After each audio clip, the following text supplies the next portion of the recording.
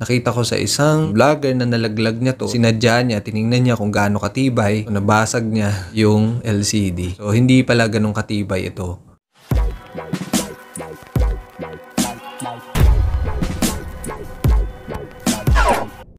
So, yun na mga tol, ang gagawin natin ay i-unbox natin itong in-order kay Lazada. So, hindi pala i-unbox, no? I-unwrap lang pala natin. So, yun. Pupunitin na natin. Alright, so ito yung laman niya. Wow. Nasa box pa pala siya, no? Ano ba laman? Ang laman nito ay tempered glass ng GoPro. Meron pa siyang lagayan bukod dun sa box niya. Meron pa siyang isang case. So, ang laman niya ay alcohol pad. Actually, dalawang set ito. Dalawang front. Ito naman yung sa mismong lens niya. Lens cover. Dalawa rin siya. Tapos, dalawa din ito. Ayan, ito yung nasa back screen. So, gamitin natin yung isang set lang. So, yung link pala ng pinagbilan ko nito, ilalagay ko dyan sa description kasi ito, dalawang set ito. Para in case na magkamali ka, at least meron ka pang backup. Mas mura ito dun sa isang set lang. Ibig sabihin, sa dalawang set, sulit ka na kasi di naman for the price of one. Pero konti na lang ang difference, may dalawang set ka na ng mga protector. Ito na yung GoPro Hero 10 natin, no? So, lalagyan natin siya ng tempered glass. Tatanggalin na natin to mamaya. Ito muna ang unahin natin yung back screen. Tanggalin natin to. Ayan. So, meron siyang microfiber cloth. Alcohol pad, ito yung basa. Pag tuyo na, ito yung gagamitin natin, yung microfiber cloth.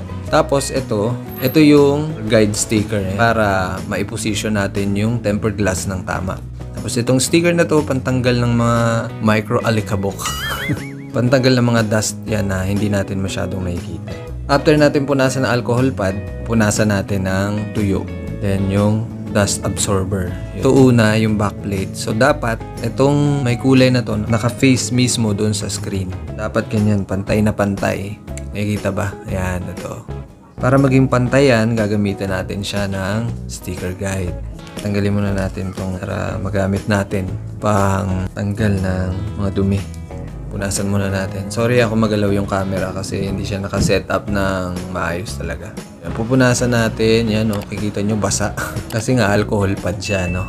And then, pupunasan natin siya ng tuyong fiber cloth. Okay. Yan. So, okay na. Malinis na malinis na. Pero, gagamitan pa rin natin siya ng dust absorber. Para sure na sure na tayo na walang iba. Mahirap pag may iba kasi. Ah, malinis na malinis na. And then, lalagay natin itong tempered glass sa likod niya. Kailangan pantay na pantay yan. Lalagay na natin itong guide sticker. Lagay muna natin dito. Dito muna yan. Yan. Tapos itong isa. Yan. So, ganyan ang paglalagay. Ipapatong natin dito. Pagka sukat na sukat na, didikit na natin yung guide sticker niya. Sa tingin ko naman, napantay na natin, no? Aangatin na natin tong sticker na to. Ayan. Okay. So, dahan-dahan lang. Dahan-dahan.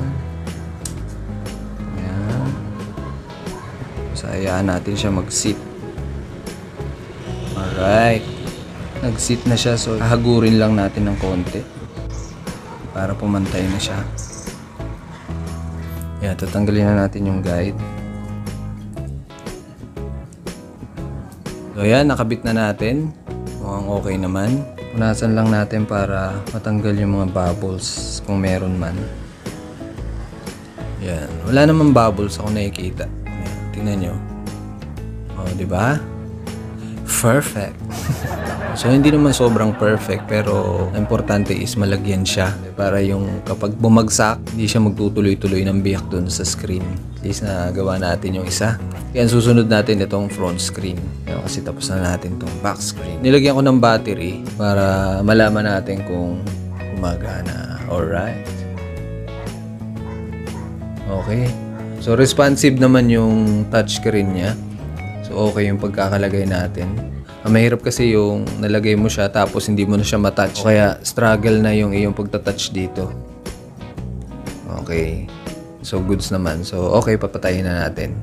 Proceed tayo doon sa front screen niya. tanggalin na natin to. Ayan. Same lang naman ang gagawin natin. Susukatin muna natin siya. So yun yan, sinishare ko lang to, no? Hindi ako expert sa paggawa nito. Punasan natin ulit nitong alcohol pad. Ngayon ko lang siya tinanggal para hindi siya magaskasan. And then, pupunasan natin ng tuyo. Ayan. Tapos, saka natin siya susukatin. Ano ba pag ganito?